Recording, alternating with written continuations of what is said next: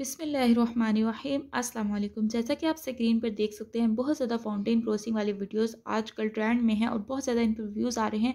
आप इसी तरह से मिलियंस व्यूज़ हासिल करना चाहते हैं और वीडियोस बनाना चाहते हैं तो आप काइन मास्टर में मोबाइल का यूज़ करके कैसे अपनी वीडियोज़ को बना सकते हैं? आज की इस वीडियो में मैं आपको बताऊँगी जो वाटर होता है, जो आपका एनिमल है, वो कैसे वाटर यानी कि आप सीन देखें। कि आपका जो एनिमल है वो फाउंटेन के अंदर डिप नहीं कर रहा, वो फाउंटेन के अंदर से बिल्कुल निकल कर कलर चेंज नहीं कर रहा। इसमें वो देखें, वो जो पास उन्होंने, रास्ता बनाया हुआ है पाथ बनाया हुआ है डिप होने वाला, उस तरह से अपना वो कैसे सीन कर रहा है। तो इस तरह की वीडियो बनाने के लिए आपको चैनल के साथ जुड़े रहना होगा और आए स्टार्ट करते हैं। सबसे पहले आपने आ जाना है इमेज सर्च मैन एप्लीकेशन में। इधर आने के बाद आपने कार्टून का कोई सा भी बैकग्राउंड चूज़ करना है। यहाँ पर काफ़ी ज़्यादा बैकग्राउंड आ जाते हैं और आपने कोई सा भी स्काई वाला या आप जिस तरह भी पाथ वाला बैकग्राउंड लेना चाहते हैं कलरफुल सा बैकग्राउंड लेना चाहते हैं, आपने वो बैकग्राउंड ले लेना है। लेने के बाद आपने इसको यहाँ से सेव कर लेना है। सेव करने के बाद आपने आ जाना है नेक्स्ट एप्लीकेशन में। और इधर से आपने एक काम ये करना है कि यहाँ से कार्टून ग्रास बैकग्राउंड ले लेना है। जैसे ही आप कार्टून ग्रास बैकग्राउंड लेंगे, उससे ये होगा कि आपके पास काफ़ी ज़्यादा ग्रास में ये चीज़ें आ जाएँगी। जाएँगी तो ये ग्रास भी आपने ले लेना है। अब चलते हैं न्यू एप्लीकेशन में। ये हम आ चुके हैं पिक्स लैब एप्लीकेशन में। आने के बाद आपने क्या करना है? इधर एक बैकग्राउंड ले लेना है, एक स्केयर ले लेना है और यहाँ पर जाने के बाद आपने एक टेक्सचर पर क्लिक करना है और इसका वहाँ पर ग्रास वाला बैकग्राउंड ले लेना है। तो यहाँ पर आप देख सकते हैं, मैंने एक ग्रास वाला टेक्सचर ले लिया है और इसको यहाँ से इनेबल कर दूँ। तो ये मेरे पास इस तरह से बैकग्राउंड आ रहा है। तो मैंने क्या करना है, इसको यहाँ से इनेबल कर देना है और इसको ले लेना है। लेने के बाद मुझे इसको थ्री रोटेट कर देना है। जल्दी से मैं थ्री रोटेट कर लूँगी और ये यहाँ से रोटेट हो जाएगा और ये कुछ इस तरह से मुझे शो हो जाएगा। अब जो है, अगर आप इसको थ्री शेप देना चाहते हैं तो थ्री शेप भी दे सकते हैं और इसकी डेप्थ को थोड़ा कम भी कर सकते हैं। तो इस तरह से ये थ्री शेप में आपको शो होगा। आप जो सा भी रोटेशन इसका वाई में करना चाहते हैं, एक्स में करना चाहते हैं या जिस तरह से भी आपको चाहिए, वहाँ से आपको ये मिल जाएगा। इसके बाद आपने इसको शेयर पर जाकर यहाँ से शेयर करके सेव कर लेना है और अब आपने आ जाना है न्यू एप्लीकेशन में। ये न्यू एप्लीकेशन है थ्री डी मैनिक्विंस एप्लीकेशन इसमें आने के बाद यहाँ से एनिमल्स काफ़ी ज़्यादा आ जाते हैं। इसमें से आपने कोई सा भी एनिमल ले लेना है। जैसे कि मुझे अगर ये गोरीला चाहिए तो मैंने इस गोरीला को लोड करना है। लोड करने के बाद इसकी स्किन का कलर यहाँ से चेंज कर देना है। चेंज करने के बाद बैकग्राउंड पर क्लिक करना है। ग्रीन बैकग्राउंड दे देना है, क्योंकि जैसा कि आप जानते हैं कि क्रोमा की में ये इनेबल हो जाता है।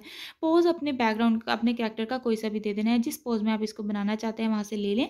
लेने के बाद आपने स्क्रीन रिकॉर्डर ऑन कर देना है और इसको एनिमेशन यहाँ से दे देनी है। इस तरह से, यहाँ पर जिस तरह ये आइडल है या सिटीड है एवरी तरह पोज जो है वो आप एनिमेशन दे देंगे इसमें और अब आपने पाथ वाला सीन बनाना है, कैसे आपका जो एनिमल है, वो जाता है अपने पानी में और फिर कलर चेंज करता है। तो आए, अब चलते हैं नेक्स्ट स्टेप की तरफ़। यहाँ पे मैंने काइन मास्टर ओपन कर लिया है और यहाँ पर एक स्काई वाला बैकग्राउंड ले लिया है। स्काई वाले बैकग्राउंड को जो है वो मैंने पेन एंड जूम कर लिया, अपनी स्क्रीन के हिसाब से फिट कर लिया। अब मैं लेयर में मीडियम में जाकर अपना, वो जो भी मैंने बैकग्राउंड बनाया है उसको इम्पोर्ट कर लेती हूँ। ये मैंने यहाँ पर ग्रास वाला थ्री डी बैकग्राउंड बनाया था, मैं इसको यहाँ से इंपोर्ट कर लूँगी।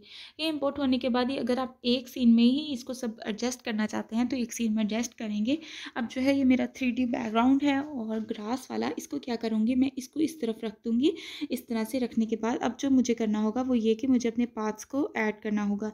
अब पाथ को ऐड करना है और एनिमल्स को ऐड करना है तो सबसे पहले वो ऐड करेंगे। अब यहाँ पर ये जो मैंने अपना सीन तैयार किया है, इसके जो वॉल्यूम है, इसको मैं ख़त्म यहाँ से कर देती हूँ। और ये सीन जो आपको है, ये ग्रीन स्क्रीन में आपको मेरे ही चैनल पर अवेलेबल मिलेगा तो आप इसको फ्री में यूज़ कर सकते हैं। तो इस तरह से आपने इसको यहाँ पर रख लेना है। रखने के बाद अब आपने पाथ वाला जो सीन है, वो यहाँ से इस तरह से बनाना है। बनाने के बाद अब आपने क्या करना है, इसको इधर से एडजस्ट कर देना है, इस तरह से। एडजस्ट करने के बाद जो ये वाला सीन है, इसको आपने ब्रिंग टू फ्रंट कर लेना है। या ब्रिंग टू फ्रंट नहीं करना तो आप जिस तरह से भी इसको रखना चाहते हैं, इस तरह से रख लें। रखने के बाद अब आपने क्या करना है इसके हिसाब से आपका जो काम है थोड़ा और बड़ा हो जाएगा और ये यहाँ पर आपको शो हो जाएगा। अभी आपके एनिमल का जो है वो कुछ इस तरह से ये सीन बन रहा है और अगर आप इसमें ही पुट करना चाहते हैं कुछ भी तो आप इसको फीदर दे दें। फीदर देने के बाद सॉरी इसको नहीं देना था, इसको इसको देने के बाद आपने क्रॉप पे जाना है और इसको फीदर दे देना है। इसमें ये होगा कि ये थोड़ा ब्लर सा हो जाएगा और एडजस्ट होने की कोशिश करेगा। तो इसकी हमें ज़रूरत ही नहीं है, मुझे लगता है तो ये इतना ही ठीक है। ओके, अब ये जो है हमने एनिमल के इधर सेट कर लिया। अगर हम ये ग्रास जो है ये ना रखें तो इसका भी बेनिफिट यही है कि हमें विदाउट ग्रास अगर हम रखना चाहते हैं तो फिर आप क्या करें, इसके पार्ट को थोड़ा और बड़ा कर लें। बड़ा करने के बाद इसको फाउंटेन को इस तरह से रख लें। ये अब जो है आपकी फाउंटेन जो है वो एनिमेशन दे रही है, लेकिन इसमें क्या प्रॉब्लम आ रही है? इसमें ये प्रॉब्लम आ रही है कि आपकी स्क्रीन के हिसाब से फिट नहीं है। अब फिट हो चुकी है। इस तरह से। अब आप क्या करेंगे? अच्छा ये जो ग्रास वाला है, इसको बाद में हम यूज़ करेंगे। इसको आपने ऐसे ही रहने देना है और अब आपने चलना है एक न्यू एक न्यू कैनवा लेना है और उसमें। अब चलते हैं, न्यू सेटिंग कर लेते हैं। अब आप देख सकते हैं, मैंने न्यू सेटिंग करने जा रही हूँ और यहाँ पे मैंने एक बैकग्राउंड ले लेना है कुछ इस तरह से। अब मुझे इसके लिए क्या काम करना है? मुझे एक पाथ चाहिए थी, वो पाथ मैंने यहाँ पर ली है और इसके हिसाब से मुझे इसको एडजस्ट कर देना होगा कुछ इस तरह से। अब इस पाथ को एडजस्ट करने के साथ ही मुझे क्या करना होगा? इसको अपने जो भी ये ग्रीन स्क्रीन में है, इसको मुझे इधर थोड़ा सेट कर देना होगा। इससे ये होगा कि मेरा जो एनिमल है, वो ग्रीन स्क्रीन पर भी खड़ा रह सकता है और अपनी फाउंटेन पर भी चल सकता है। तो इस तरह से मुझे जो है, मैंने इसको यहाँ से सेट कर देना है या बिल्कुल इस तरह से भी इसको सेट कर सकती हूँ, जिस तरह से आपको सेट कराना है, आप इस तरह से इसको सेट कर लें।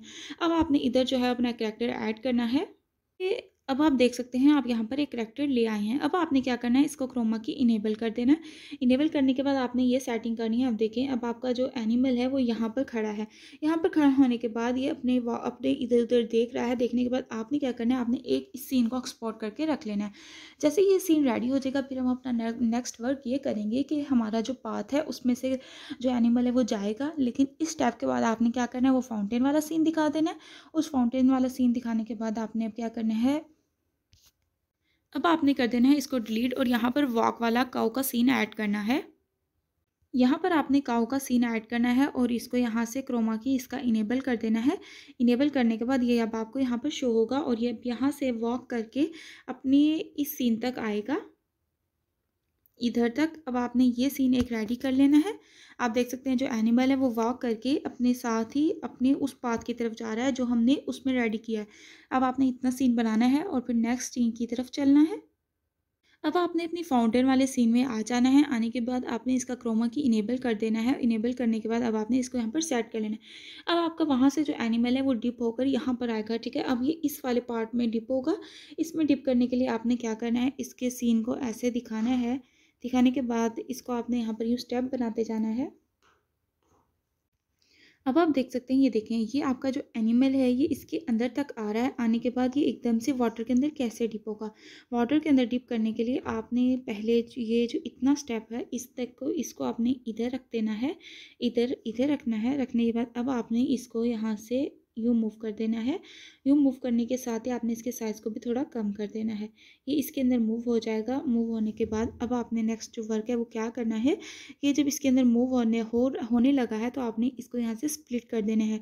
ये पार्ट जैसे ही आपको स्प्लिट हो जाएगा स्प्लिट होने के बाद आपने क्या करना है? इसकी ब्लैंडिंग पर आ जाना है। ब्लैंडिंग पर आने के बाद आपने इसको यहाँ से ब्लैंड कर देना अब आप देखें यहाँ पर काफ़ी ज़्यादा कलर है। अगर आप इसको स्क्रीन का कलर दिखाना चाहते हैं तो आपने स्क्रीन के कलर के हिसाब से इसको यहाँ पर अब सेट कर देना और ये इसके अंदर चला जाएगा। यानी कि ये अब आपको इसके अंदर दिखाई दे रहा है। अब ये देखें, अब ये देखें, अब आपका जो स्टेप है वो किस तरह से रेडी हो रहा है।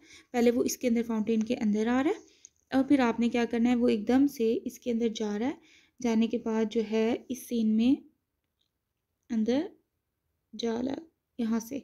अब ये देखें, इस तरह से ये जो आपका सीन है, ये जो इस तरह से रेडी हो जाएगा और उसके बाद ये एकदम से ये इसके अंदर वाटर में चला जाएगा चलने के बाद अब आपने क्या करना है? ये इस तरह से गया, जाने के बाद अब आपने क्या करना है? इसकी एनिमेशन को आपने इधर तक लगाना है। इधर तक लगाना है, लगाने के बाद आपने अगेन इसकी एनिमेशन को यहाँ तक ले जाना है।